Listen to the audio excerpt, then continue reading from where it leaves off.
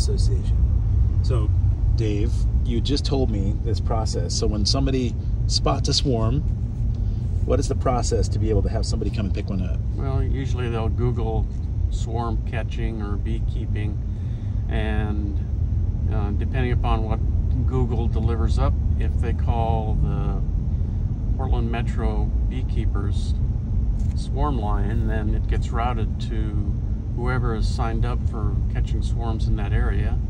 Whoever picks up the phone first gets it. If somebody doesn't pick up the phone, it goes to the next person. And so we got this swarm uh, southeast Portland between Grant and Lincoln, and we're going to go see if it's still there when we get there. All right. So once we get there, what's the process? What do we do? Know, we're just going to look see where it is. We'll spread out some a tarp or something and get some boxes with some frames in it and knock the bees in there. You knock them in. Right, you just kind of yeah, you just depends on how far up they are. You can sometimes kind of just dislodge them from the limb they're on into the box. Or you can't do that, then you dislodge them onto the ground.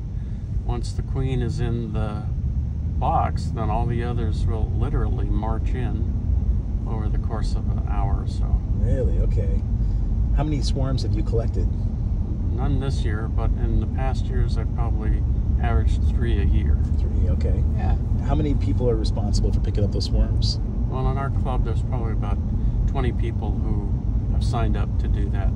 Okay.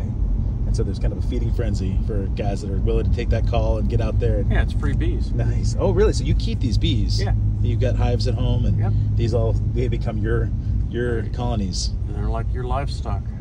And how many hives do you have at home? I have, right now, I have 10. All right. I had 14 in the fall, but I lost four of them actually. I lost three, and then I lost a couple of queens this spring. When you say lost, they, they passed away. Either or they left or the bees killed them. Don't really know. They just they'll periodically go queenless. And this one hive that I looked at yesterday, it was queenless and didn't have any brood or eggs or anything. So it wasn't going to survive unless I uh, merged it into another Okay. colony. So the bees that you harvest today, you're going to go collect the swarm. You're going to put them in a box and take them home. You start up a new hive, or what? The, Yeah. what- okay. Start up a new hive and see. You wait till the queen starts laying. Typically, it's a queen from last year. Usually, it's not this year's queens that swarm. It's last year's queens that leave. And they leave behind a virgin queen or a, a new queen at the old place.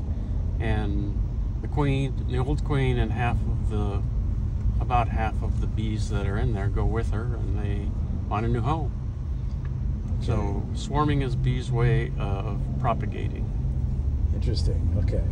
And so today, when we go pick up this hive, you said we're going to merge them into a box. You're going to take them home. Uh, what kind of protection do you have to keep yourself from getting stung? Oh, these bees, uh, I'm. I usually just wear a veil because bees, when they're swarming, are so non-defensive. They won't sting you unless you really start messing with them or the queen. So I'll just wear a veil with a jacket and gloves, and should go. I hope pretty smoothly. Depends on how how high up off the ground they are. Okay.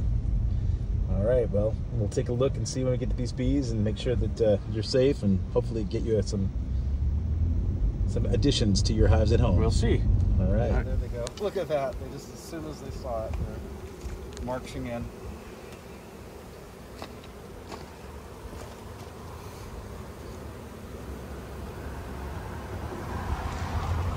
I love watching that. Are you that getting- process Yeah, where they the- march the right march, into. Yep.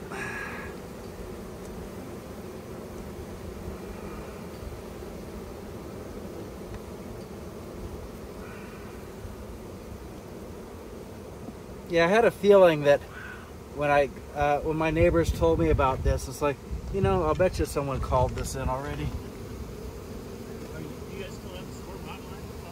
Yeah. Oh yeah. That's amazing. Watching them just cruise in there.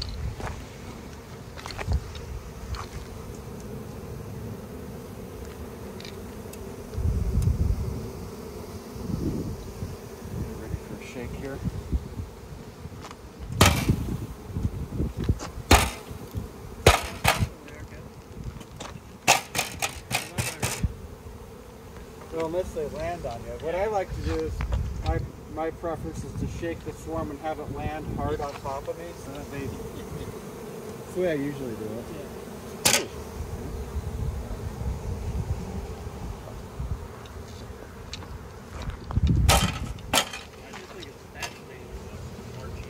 Yeah.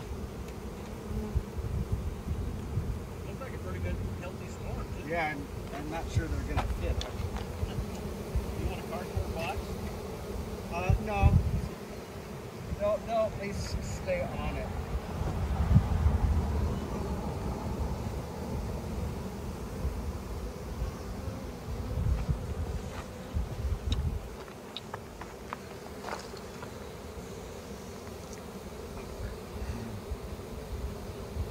Well, Dave, traffic cost us that swarm, buddy.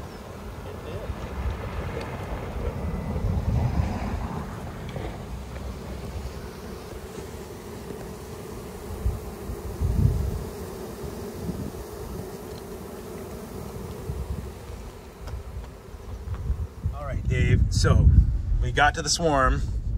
Somebody got there first. And yeah, somebody in the local bee club in the local neighborhood got there first. So beekeeping etiquette says it's theirs. That's the etiquette. All right. So, Yeah. yep, he's he got there first. He put the box down. He started to collect. Obviously, he's done it before. He said he's got plenty of hives and lots of lots of swarms that he's grabbing. So, It's beginning to get swarm season, so there's going to be plenty of opportunity. how uh, how often have you come across a swarm where it's been just snagged and you have uh, you have to like This is the first time. Okay.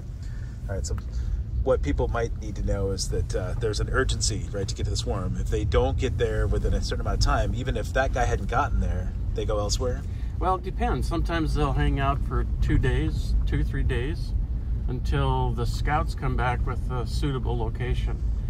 Uh, and as soon as that occurs, then they're gone.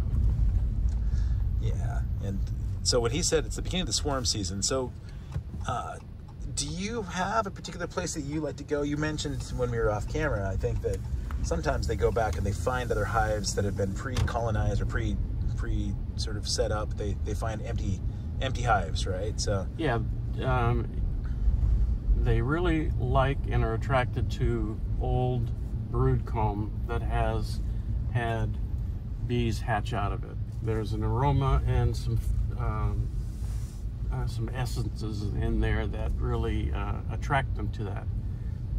So if somebody has got an old some old equipment in their backyard or something, then they will oftentimes make a new home there. has it happened with your hives? Yeah, in fact, one of my hives swarmed last last May, and it swarmed into the barn where I had a bunch of old gear, Oh, really? Okay. and so it was an easy catch. Yeah. Wow. Well, I'm sorry that this one didn't work out for you. So am I, but that's all right. What I was going to do with it, by the way, is the um, bee club I belong to is starting a, an educational apiary at a donkey rescue in Oregon City.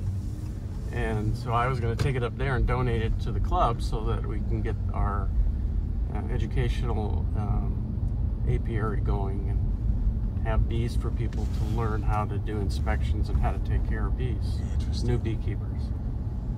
that uh, that seems more altruistic than what that guy was doing with his bees, but Well, that's life. Who you know. Yeah, and like I say, it's early in the swarm season.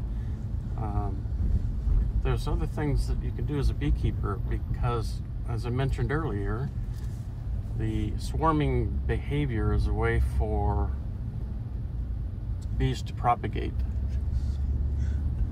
And so, uh, if they swarm like they've done with this hive, then you get lucky and get um, a swarm. Oftentimes, your own hives, if you see them preparing to swarm, then you can sort of force a swarm to happen. You can move them and some queen, unhatched queen cells into another box, and then that queen will emerge and mate and come back, and you've got another hive. So you can you can kind of fake a swarm by doing stuff like that. interesting. Okay. Well, as you had sort of mentioned when I got there to the, the hive and we talked to the gentleman that was collecting. You said that they were really not that defensive, that they're looking for a place to go. And so I got right up there with no hood, no veil, no jacket, and they left me alone. They just wanted to get into that box and. and Yeah, they just care about the queen, and the swarm stays together until the queen is hive, and then they all literally march into the same place. that was, that was a, a really fun experience. I appreciate you sharing it with me, buddy. Sorry that one didn't work out. Happy to do it. We'll do it again. We will do it again.